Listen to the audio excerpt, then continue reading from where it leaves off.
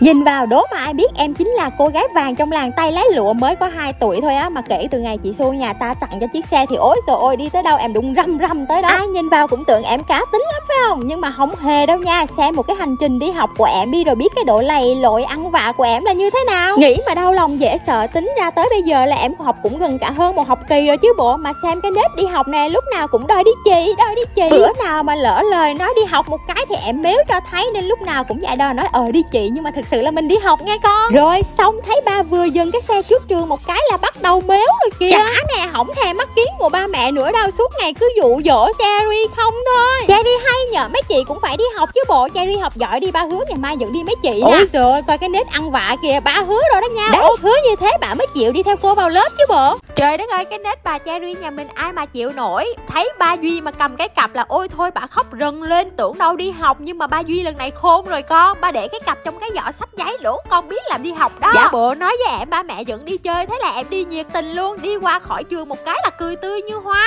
Nhưng mà muốn được đi chơi thì Cherry nhà mình cũng phải ăn cái đã. Giờ mà mẹ nói lát nữa mình quay xe vào trường học lại Chắc bà Cherry nhà mình ăn vạ tại chỗ quá. Thôi thì cứ im im cho bà ăn sáng xong cái đã rồi tính sau. Rồi rồi tới cái cạnh quan trọng rồi kìa Ơ sao tự nhiên cái đường này nó quen quen lắm ba ơi? Hình như đây là con đường tới trường chứ đâu phải là con đường tới nhà chị Su đâu ba. Xong Xong rồi, tới công chuyện với bà Cherry nhà mình rồi. Cái gương mặt bắt đầu ngơ ngác, hoang mang và bất ngờ bật ngửa. Cô ơi, cô đâu rồi? Tự nhiên đi học khóc nhè là sao vậy Cherry? Đi học vui gần chết. Mẹ vừa chui vô xe là bà nín luôn rồi. Ủa vậy là sợ đi học hay là không sợ đi học vậy ta?